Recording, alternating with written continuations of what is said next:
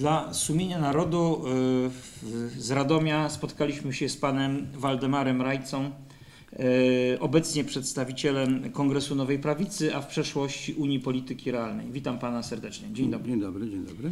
E, Proszę pana, e, proszę powiedzieć, e, tu była bardzo przed chwilą ożywiona dyskusja e, między innymi o wartościach katolickich, między innymi o roli Piłsudskiego jako socjalisty, e, który no, jest przez niektórych przedstawicieli prawicy mimo wszystko jakoś tolerowany i przywoływany.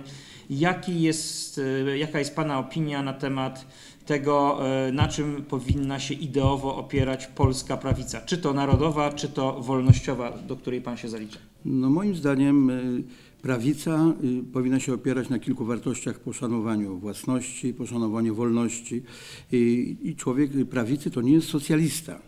To jest y, redystrybucja dochodu narodowego, to jest właśnie socjalizm.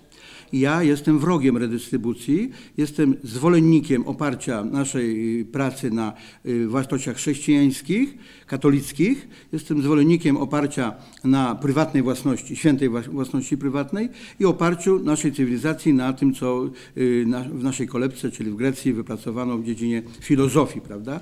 I to jest, całość składa się na całą cywilizację. Jeżeli są w Polsce ludzie, którzy mówią, że są narodowcami, bo ja narodowcem nie jestem, jestem patriotą, nazywam się konserwatywnym liberałem, czyli wartości konserwatywne i na tym liberalizm gospodarczy. Tak, żeby rozumieć, żeby, żeby rozumieć o co chodzi. Wymyślił to pojęcie Stefan Kisielewski, nie ja. Jest to adekwatne do, do tego, co głosimy. I w związku z tym narodowiec to nie może być człowiek, który lansuje towarzysza Józefa Piłsudskiego pseudonim Zjuk. To był rewolucjonista w każdym calu, przeprowadzał rewolucję, y, zarówno jak tworzył s- strzelca, strzelców, wychodził z zaboru austriackiego jako agent y, austriacki, prawda, bo to wszystko finansowali Austriacy. Wcześniej dogadywał się z, z Japończykami, od których dostał wielkie pieniądze, co usłyszałem pierwszy raz od profesora Wieczorkiewicza, uważam solidnego profesora. Potem zadawał się z, Bryty, z Brytyjczykami, którzy, którym obiecywał, u boku miał wtedy Józefa Rettingera i obiecywał, że wystawi 500 tysięcy żołnierzy przeciwko Rosji. ali Tak? A później y, jakimś dziwnym trafem Niemcy go przywieźli w 18 roku w zaplombowanym wagonie, tak jak Lenina y, prze, przetransportowali za drugą część frontu, y, żeby, żeby tam z drugiej strony frontu rozprawić z, z Rosjanami. Więc każdy, kto mówi o, o Piłsudskim jako mm, swoim bohaterze, to jest socjalistą, no bo proszę sobie przejrzeć historię II, II Rzeczpospolitej, co on robił wtedy, prawda, jak budowali drugą RP, y, jak etasyz rozbudowali, interwencjonizm państwowy, jak podnosili podatki, jak y, rujnowali chłopów, na przykład na, pamiętam na, y, na, na Podkarpaciu bezrobocie dochodziło do 62%, ludzie uciekali do Ameryki. To wszystko był efekt wysokich podatków, gnębienia i wymyślania co rusz to nowych, nowych instrumentów grabieży. I pamiętacie Państwo, taka historia była w Lublinie, był prywatny y, zakład produkcji samolotów. W tej chwili nie pamiętam inżyniera, który został przez ludzi Piłsudskiego zgnębiony, fabryka upaństwowiona.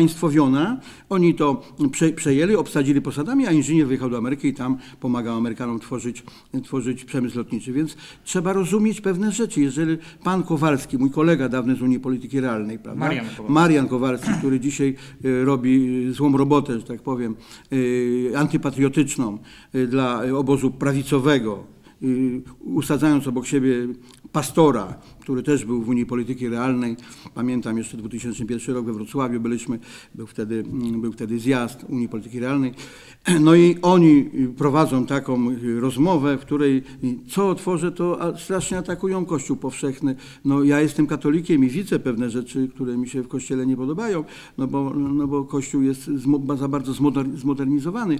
No, jestem tradycjonalistą, konserwatystą, ale coś takiego, co ci dwaj panowie wyprawiają na, na antenie, atakując ten Kościół, prawda, szczególnie pastor, no to jest o pomstę do nieba woba. Ja bym nazwał, obserwując to, co mówi pan Kowalski, nazwał go takim proamerykańskim patriotą, y, który nienawidzi, y, nienawidzi Rosji, nienawidzi y, Kościoła powszechnego, a za plecami od czasu do czasu widuje, że ma Józefa Piłsudskiego. No to jest jakieś kompletne pomieszanie, pomieszanie ideologicznych pojęć, no bo albo się jest zwolennikiem Piłsudskiego jest się socjalistą, albo się jest zwolennikiem Dmowskiego, prawda, Halera, y, y, Paderewskiego i jest się człowiekiem prawicy. I wtedy to się trzyma kupy. A już Pierwszy słyszę, żeby był narodowiec proamerykański. To jest w ogóle jakieś, jakieś wariactwo. Także ja tak to widzę i jest tu pomieszanie pomyśl. Można się zastanowić, z jakiego powodu akurat pan Kowalski to robi. Mnie się wydaje, że y, nie wyobrażam sobie, gdyby pojechał do Ameryki, bo on tam jeździ na wykłady i by nagle mówił źle o Piłsudskim, no to nie wiem, czy Polonia by go za drugi raz zaprosiła. Albo gdyby o Ameryce mówił też źle, y, to też nie wiem, czy by go zaprosiła. Być może to postępuje tutaj koniunkturalnie, trudno powiedzieć, to jest moja opinia, prawda? Natomiast pastor, no to jest finansowany przez Kościół Nowego Przymierza, nie wiem, co to za sekta amerykańska, prawda, która tutaj y, po prostu go finansuje i on z tego żyje, więc... nie wydaje mi się, że to jest czek ideowy, tylko za tym stoją jakieś y, środki finansowe, tak sądzę, prawda? No bo inne opinie na ten temat nie mogę sobie y, uzmysłowić. Także tak wygląda z mojego punktu widzenia prawicowość i lewicowość, prawda? Kościół powszechny jako fundament, prawda? To jest coś, na czym musimy oprzeć nasz rozwój gospodarczy, prawda? I nie możemy fundamentu podmywać. Jeżeli ktoś podmywa fundament, czyli Kościół powszechny, jest moim wrogiem.